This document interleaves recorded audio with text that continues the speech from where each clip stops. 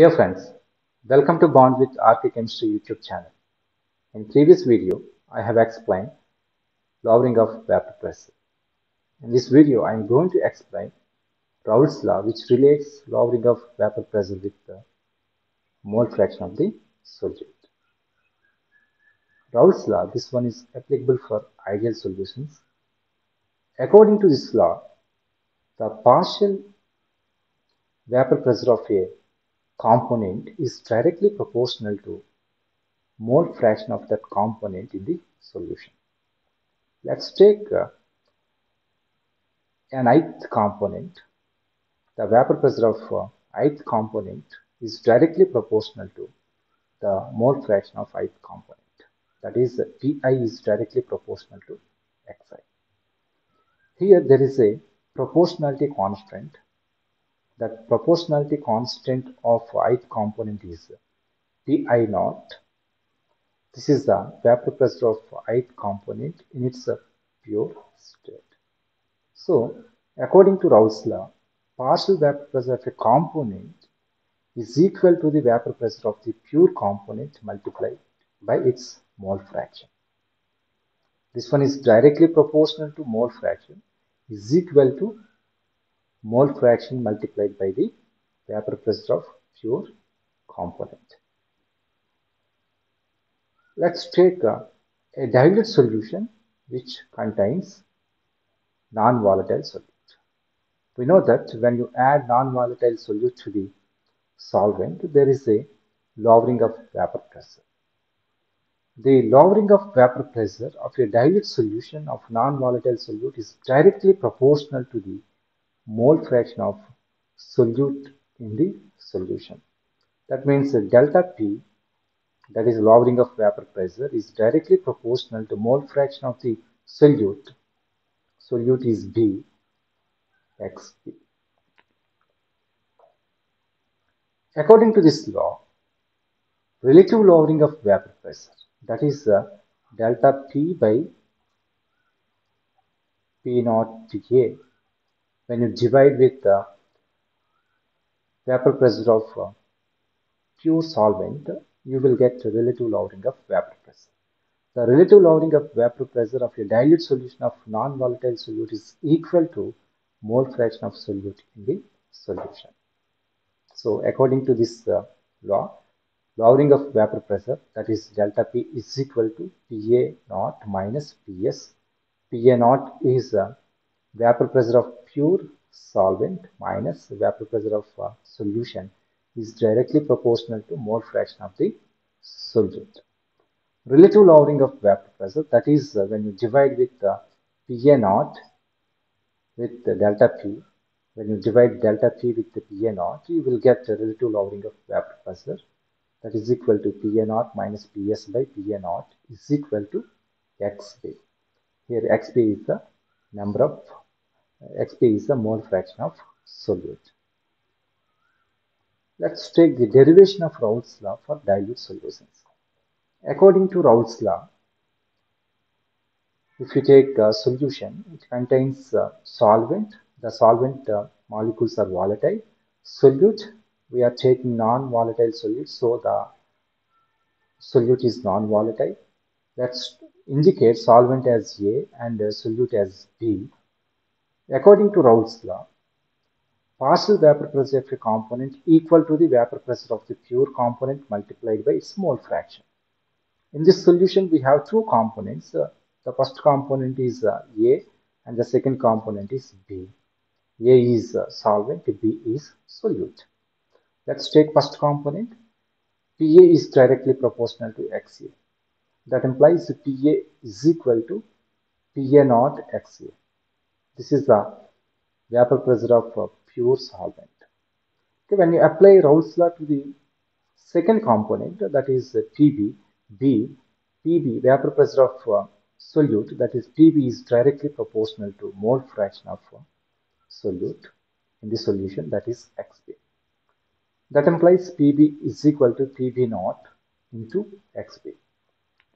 The total vapor pressure of the solution, that is PS is the vapor pressure exerted by the component A and component B. So PS is equal to PA plus PB. So is equal to PA naught into XA plus PB naught into XB. We know that for non-volatile compounds, the vapor pressure is zero. Since B is non-volatile, since solute is non-volatile, PB naught is equal to zero. So the equation will become PS is equal to PA naught XA. Here this term will be will not be there in the final equation. So PS is equal to PA naught XA.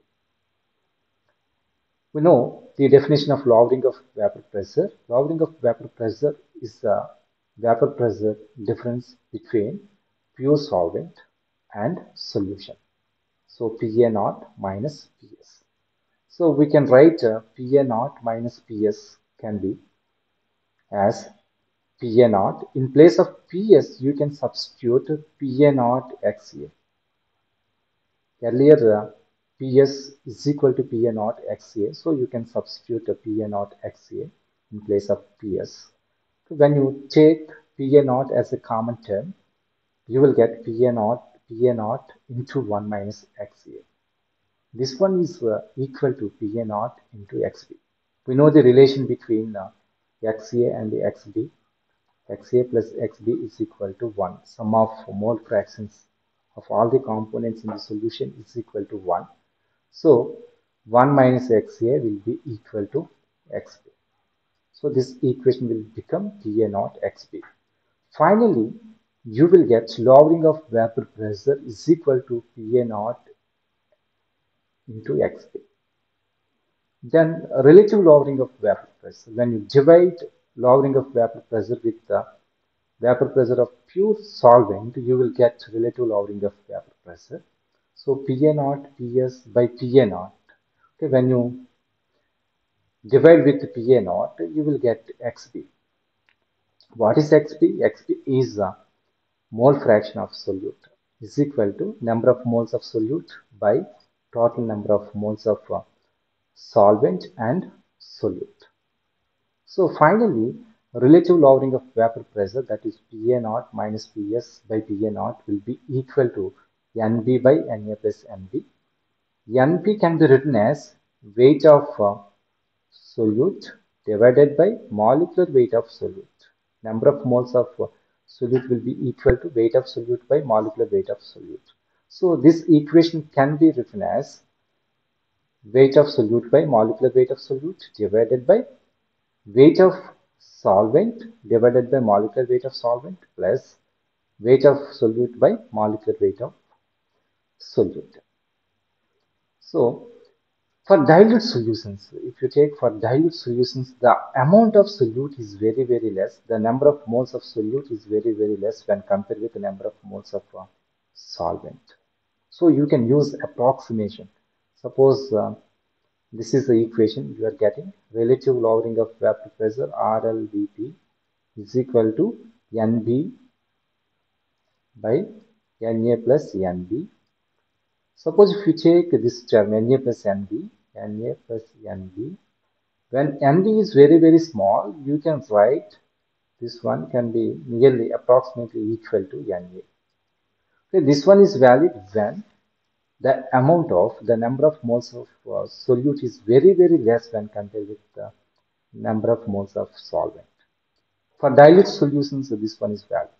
So finally, RL, RLVP will be equal to this one is NB divided by NA.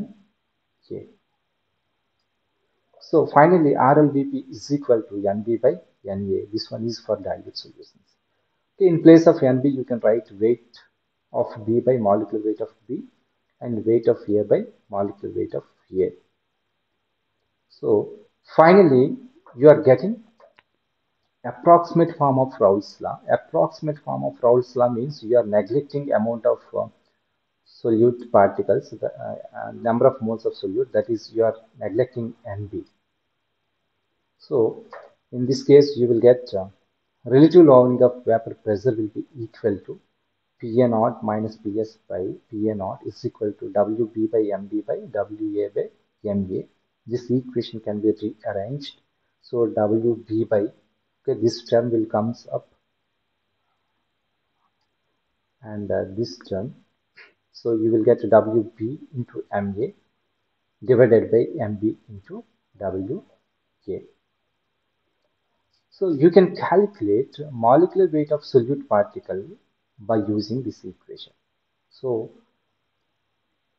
if you rearrange this equation, if you rearrange this relation, you will get MB is equal to PA naught minus uh, PA naught by PA naught minus PS.